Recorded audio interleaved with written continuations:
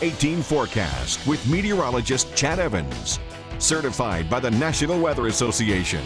Weather from where you live. Well, after a few little rain, graupel, and sleet showers this afternoon and this evening, those have certainly faded away. And even with some high mid-level clouds, it's cooling off rapidly. And this is a sign of the cold air. We've had up to three and a half inches of snow in central New York tonight. And this storm is going to be the big one for the weekend, not for us.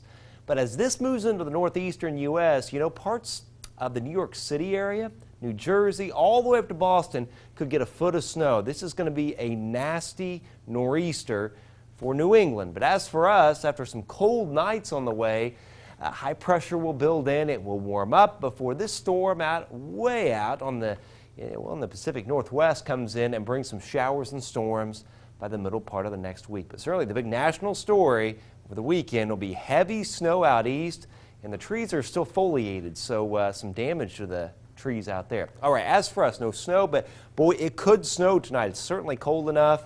36 already at the station. I poked my head out the door back here. Already have frost forming on the grass and on some of the cars here. 38 at Monticello and already down to 32 at Morocco. Definitely uh, it's going to get colder than the model data suggests tonight, so I lowered the numbers by about 5 degrees. 28, mostly clear at 7 a.m., becoming partly cloudy at noon, and 5, maybe an isolated shower tomorrow afternoon with some residual cold air aloft that'll bubble up the clouds a little bit and a high of 51 degrees. So a cold night tonight, much colder and frosty, 25 to 30 for the low. Maybe an isolated shower later on tomorrow.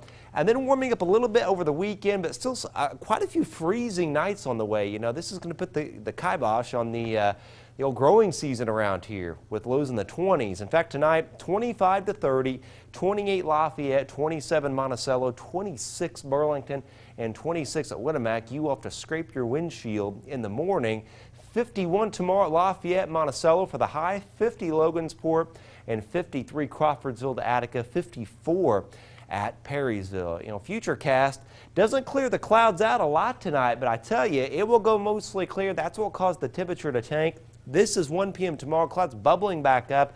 You know, it's a little green, uh, green blob here. That could be an isolated shower. And then Saturday looks pretty good, just partly cloudy, 51. But notice the nights, you know, uh, it's going to be a cold Friday night frenzy, Mike Clef. It's going to drop. In fact, we could be in the mid 30s by 11 o'clock tomorrow night. We'll drop to 28. Saturday night we'll drop to 28.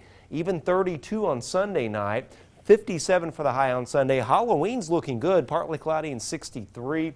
66 Tuesday, and then some showers and thunderstorms on Wednesday at 63 before we cool off a little bit. 55 on Thursday.